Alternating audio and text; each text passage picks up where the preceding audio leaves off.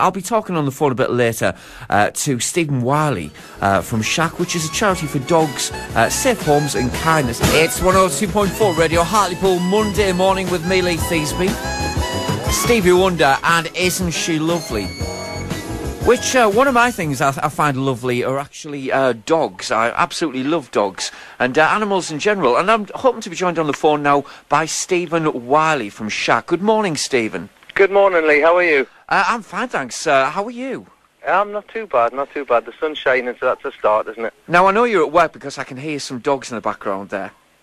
Yeah, yeah, that's That- right, yeah. That's nice. And uh, of course, you work for this charity uh, providing dogs, uh, finding safe homes and also kindness for them as well. Because uh, there's a, a lot of uh, dogs, for whatever reason, become homeless, isn't it? Th- that's right. I mean, what we do up here is we, we basically do something a little bit different in terms of we take dogs in that have um, more complicated stories to tell, if you like, and a little bit more um, issues and problems. Uh, and just give them somewhere to go and, and, and to be safe, and then get the, you know, get into the habit of being a dog again, um, and, and then take it from there. Really, from from what we do with them. Now, I believe you're based in Northumberland, but you do actually help, uh, you know, animals from Hartlepool, don't you, as well? We do, yeah. We've had a few dogs from Hartlepool. Uh, most recently, a German Shepherd um, that, w- that, that we helped out that was in a pretty pretty desperate situation. Um, but we do work with one of the, the kennels down there in Hartlepool as well, or the Hartlepool area. Uh, and again, take some of the slightly more difficult dogs and, and, and give them give them somewhere to go. Now, it can't be easy running a, an organisation such as that. Must uh, there must be a lot of costs involved, and I believe uh, you're doing some fundraising at the moment, aren't you? We are, yeah. A gentleman called Malcolm Riley, as I say, we, we, contact, was contacted basically about a, a dog that we helped him out with, and Malcolm's very kindly put together a brilliant little um, fundraising package down down in the Hartlepool area. Uh, he's managed to secure us a, a- a fishing trip uh, out of Hartlepool Marina that he's currently raffling on. Um, obviously to raise funds to help us uh, to keep the dogs in the kennels up here. So how do people, you know, if they're interested in that, uh, you know, there's a lot of animal lovers around Hartlepool, uh, and if they fancy helping out, how do they fancy, uh, how can they get involved uh, in, Yeah. uh, you know, doing this fishing trip?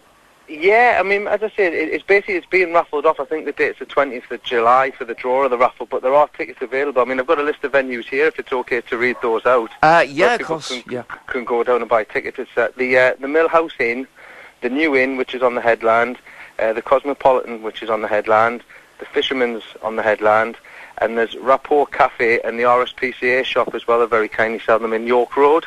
Near Um, uh, Radio Hartlepool itself as well. I think that's correct. Yes, that's right. He's done a he's a, done a cracking job getting the tickets out and about and, and ready for people to uh, to purchase. Yeah. So obviously, you know, uh, these funds would go uh, back into helping your organisation, wouldn't they? Providing a, a, a bit of much-needed money as well. Th- that's right. I mean, we're basically we're, we're, we're very much a voluntary organisation, so yeah, the, all the money does go straight back into the dogs, uh, and obviously gives the dogs, you, you know, vets bills, kennel fees, food bills, all, all the usual kind of running costs that you would associate with having. I mean, we've currently got 50, I think it's 55 dogs in the kennels.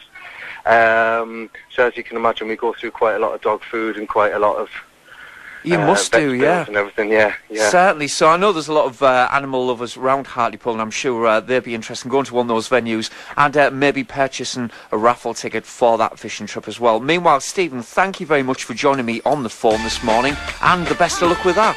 You're very welcome, Lee. Thank you very much for your support. Thank you. No problem. On the way now, Alesha Dixon, and let's get excited. It is Radio Hartlepool.